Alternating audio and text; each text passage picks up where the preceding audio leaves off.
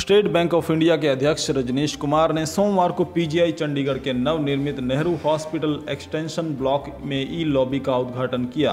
PGI के extension block में इस ई लॉबी से रोगियों तथा उनके संबंधियों की वित्तीय जरूरतें, जैसे फंड ट्रांसफ़र, नकदी आहरण आदि की जरूरतें पूरी करने में सहायता मिलेगी। किया है डिजिटाइजेशन के बारे में या फिनेंशियल इंक्लूजन के मामले में उनकी समीक्षा करना और उसको हम कैसे आगे ले जाएँ, जिससे कि जो तीन यूनियन टेरिटरीज़ हैं और तीन स्टेट्स हैं, यहाँ चंडीगढ़ मंडल के तो वो किस तरह से यहाँ की अर्थव्यवस्था, यहाँ के लोग, व्यवसायी, एग्रीकल्चरिस्ट, उनको कैसे मदद कर सकते हैं, इस बारे पे काफ़ी समीक्षा की गई है। और मोहाली में एक हमारा नया एडमिनिस्ट्रेटिव ऑफ़िस बना है, अच्छी बिल्डिंग बनी है, उसके भी उद्घाटन का मुझे आज शुभ दिन पे मौका मिला।